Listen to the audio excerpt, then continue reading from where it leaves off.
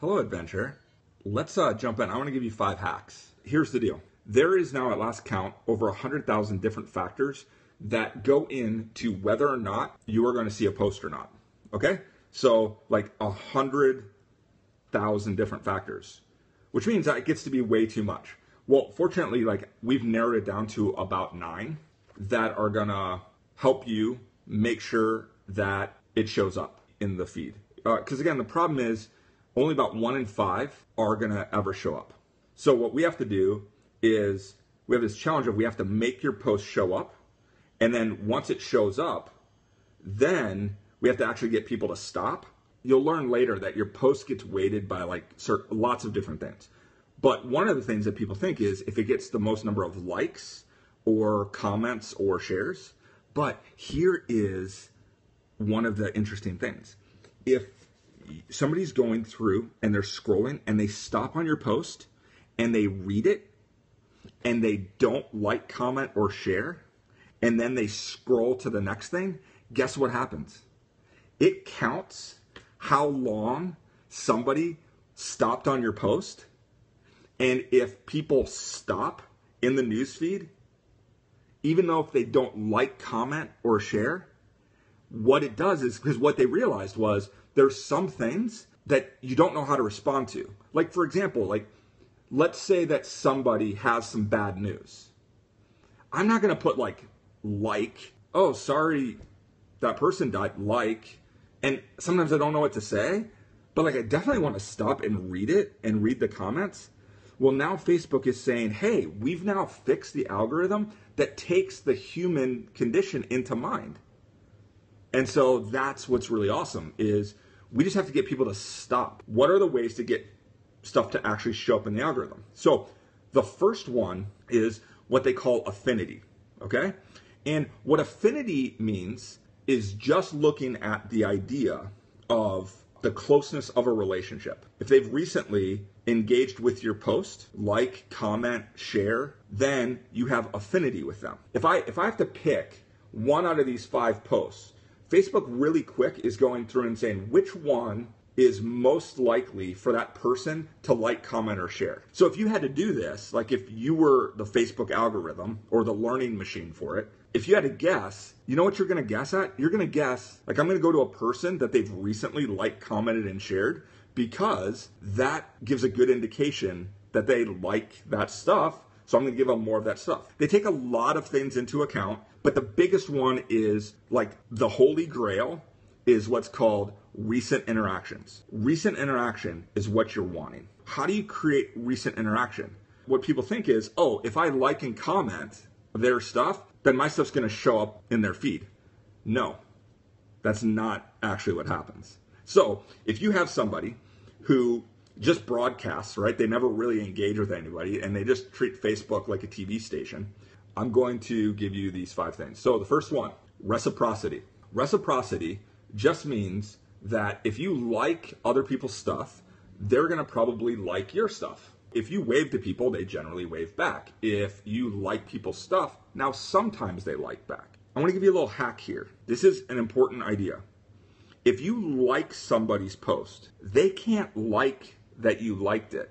Like a like is okay. So I think what you do is you just want to go and like as many posts as you can because you think sometimes more is better. So if I just like a bunch of posts, like I, am hitting more people. But I want you to think about it is instead, like let's cut the number in half. Instead of maybe like liking a hundred people's posts, what if we only could comment on 25? Well, here's what happens. If I comment on somebody's post, guess what they can do? They can do two things now. Because again, when I like it, the only thing they can do is click on my name, go to my profile, which people hardly ever go to, right? It's under 14% of the time, and maybe like one of my things. So we're really kind of setting it up to not be a win. But if I leave a comment, a thoughtful comment, there's now two options. One, they can like my comment, which is very easy to do or they can comment back. What you have to realize is you think to get better engagement, they have to like your stuff. Well, they do, but it doesn't mean it's on your post. Do you understand that the algorithm It's the same way if I go and leave a thoughtful comment on Dan's post and Dan likes it or replies back, do you know that it weights it the same whether he liked or commented on my post? At least in the area of affinity. What Facebook does is go, hey, Dan liked something and had interaction, so now show Dan more of your posts. Okay, now here's the thing. If I have a comment and Dan didn't like or comment it, but like I left a comment on his and he liked or commented, it weights it the same for recent interaction. But do you know that if I go to another post that wasn't generated by me, wasn't generated by Dan, and I'm just being helpful, and I say, hey, at Dan, I thought you'd really like this. Isn't that hilarious? And then Dan gets a notification and Dan likes my comment on somebody else's post. Guess what Facebook just did? Dan just had recent interaction with me.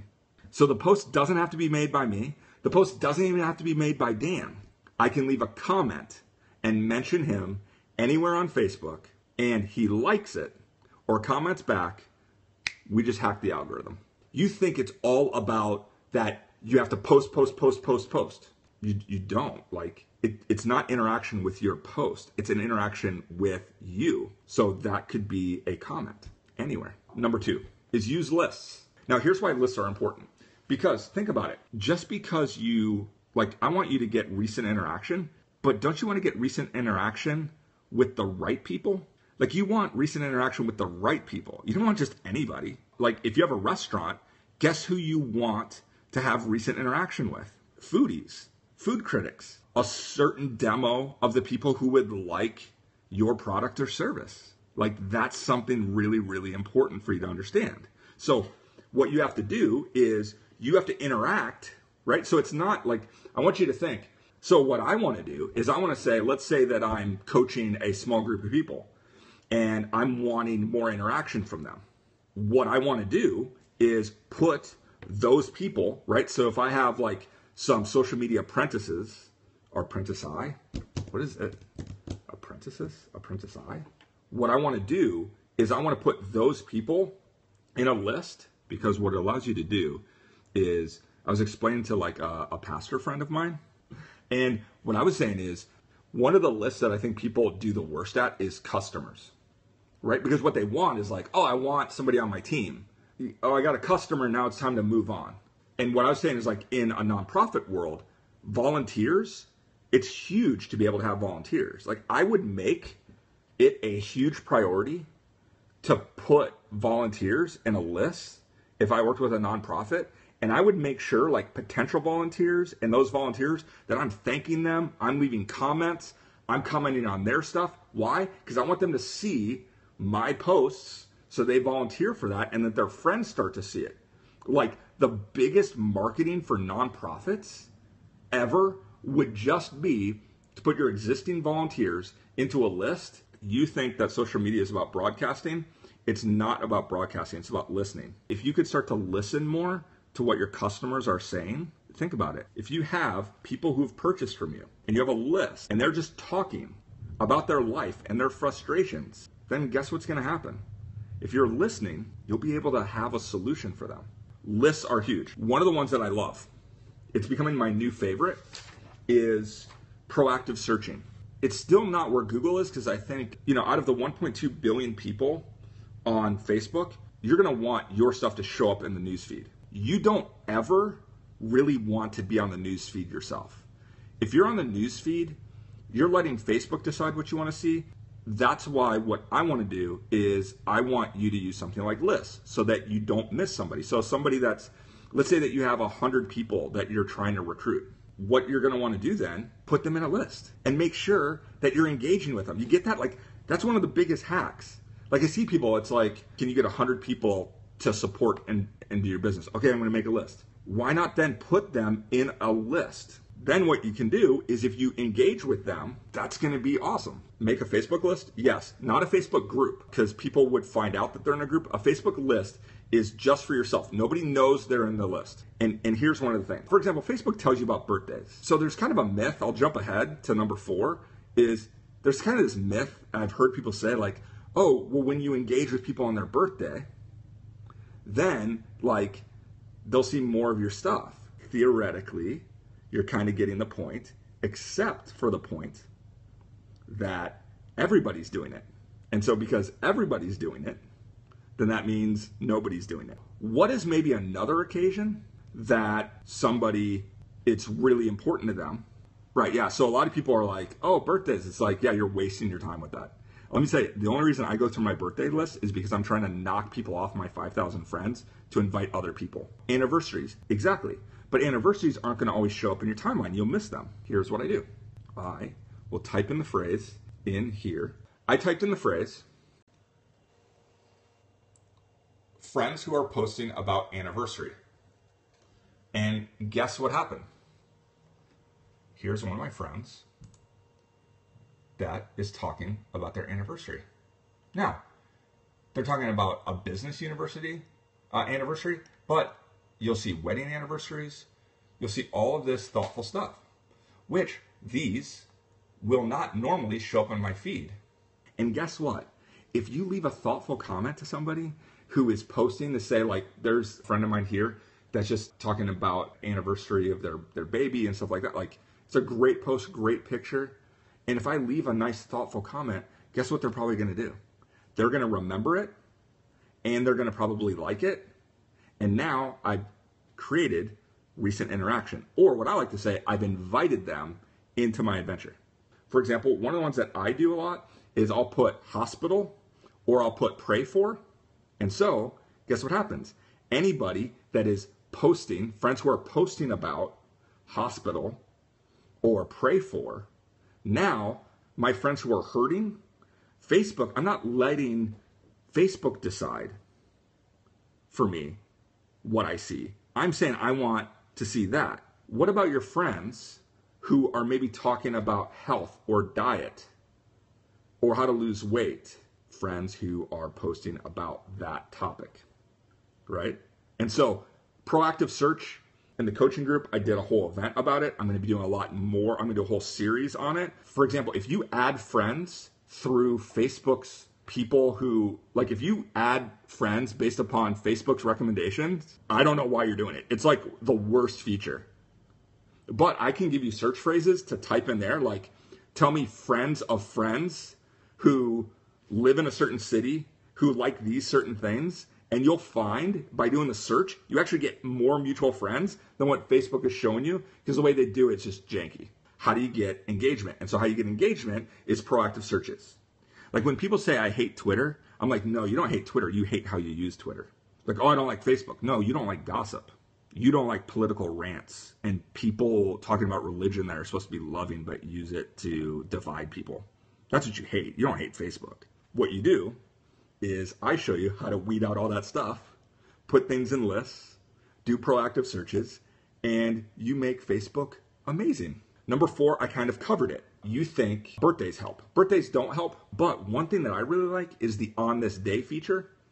And so I'll post the link to it. What I like is I like to go there because what I like to see on, on this day is this is it will tell me a couple things. One is if I have a re- if I have a memory with somebody I can then go and share that to that person's timeline, or I can even just private message them. I am creating, again, it's not even about hacking the algorithm. I'm just like being a good human. But what it also does is it shows you the anniversary of when you become their friends. Wish them a happy, like, we're Facebook official, or it's our Facebook anniversary. Or I go, I have no idea who this person is. I can go to them and see some of their recent posts, and that's triggering, right? Because instead of you going through, let's say you had 5,000 friends, you can go through all of them and it just basically divides it up based upon the anniversary. So sometimes I use on this day to have like a bunch of offline conversations, which are great. Don't worry about the whole like I mean, wish people happy birthday, not out of strategy, I guess is what I'm saying. Like if when I hear like, oh, you go to people's birthday, wish them happy, no, just wish them a happy birthday. In fact, why don't you just like go and send them a card? Do that. Don't have happy birthday be a strategy and it doesn't work because everybody else is doing it. And you don't ever remember who all wished you happy birthday because as an experiment one time, it was a while ago, it was not thoughtful. I just randomly changed my birthday and then all the people that wish you a happy birthday, like if you're having a down day, let me just say this. If you're having a bad day, just change your birthday to that day and um, then you'll feel better. It's not thoughtful. You shouldn't do it. Draw people into your post. That's number five. Draw people into your post. Now, this is a double edged sword. If I tag Dan in a post, what I'm essentially doing, he's getting a notification that lets him know, hey, he was tagged in a post. Now, all of you should have timeline review set. If he approves that post, that post gets a little bit of a boost to the people that Dan and I overlap. Because what Facebook is doing is saying, hey, I got to choose between these posts. Here's this one and this one, but you're friends with Dan and John-Erik, so that double bonus, here you go. Tagging can be helpful, thoughtful tagging. The way I do it is this tagging is like tag you're it, meaning I can touch you, which means you were in the photo, you were there. I'm posting a picture about our adventure, and you and I we were there. We took a selfie. I tagged you in it because you were right there. For you to go and write a post that has nothing to do with me and just use it as a strategy and tag 78 other people, what you're really doing, this has nothing to even, like, there's something that affects the algorithm. It doesn't, like, where it doesn't matter with the algorithm is just everybody else doesn't want to tell you, like, you're a spammer and we start to avoid your posts. And you'd be surprised at how many people have unfollowed you uh, because I do it to you. Mentioning is different. Mention is like about. So when you do that, it put at sign. Mentioning would be something like, um, mentioning would be something like, I write a post and then I'm mentioning at Dan isn't that cool or at somebody, right? Like it's about them. Now, here's the big difference. When you tag somebody, it sets all these notifications and automatically like now anybody that comments on that and it just like creates such a hassle, but mentioning doesn't. Also, the great thing about mentioning is when you mention somebody, it will show up in search on and off Facebook, which is great for SEO and other things. So, for example, there was somebody who was watching a training about something I was doing, and they should have mentioned me. Like somebody says, Oh, I love your training, John-Erik. Like, no, you mentioned me. You did it perfectly. That's exactly what you should have done. You shouldn't tag me when you're in bed because what it just said was, hey, I'm in bed with John-Erik, and you were not in bed with me. You were watching training, tagging and mentioning. Now, the reason you want to be careful with tagging is this mentioning people don't really get upset. Like mentioning, I mention people in the post or in the comments. So realize in the comments, it's the same thing. So I wrote a post a, uh, a while ago about families. It just really was like, like a great post about families. Then in the comments, what I did is I would mention in the comments, I would say, hey, at Dan, this post reminded me of your family. What was awesome about that is he got that notification. I brought him into the post. So because of that, like I'm being thoughtful. Just be thoughtful about tagging and mentioning. Tagging is generally they were there. Don't use it a lot. Mentioning, that's where, hey, I thought you would like this. I'll mention, hey, at Dan, you'd really like this shirt. And if he likes it or comments back, see what I did? I invite him. It didn't have to be about my post. So you want to mention a lot. Tagging, be very, very careful. But when you thoughtfully tag, it will boost your post. Now, here's the double edged sword with it. People will unfollow you because I do it. I mean, I didn't unfriend you, but I'm not seeing your post. I basically muted you. If somebody removes the tag or hides the post, guess what happens? Your entire post, not just that post, but your entire score goes down. I see like, hey, I don't want to see this post and I hide it. Like if somebody reports the post or they hide it or they're even removing that, what Facebook is saying is going, it's backing up and going, oh wait, pe- this person isn't being thoughtful because people are removing themselves from the tag or people are hiding the post. So what I'm going to do is I'm basically going to put you in probation because you're I don't like your stuff. That's where the problem is. People will tag some people, right? Which can be helpful if you thoughtfully do it. You overdo it, you actually could really hurt yourself. Tag and mention are, are very different. Those are just five quick ways. Hope you guys love this. And I will post in hackthealgorithm.com. I'll post all the information in there. So thanks for tuning in and Your adventure begins right now.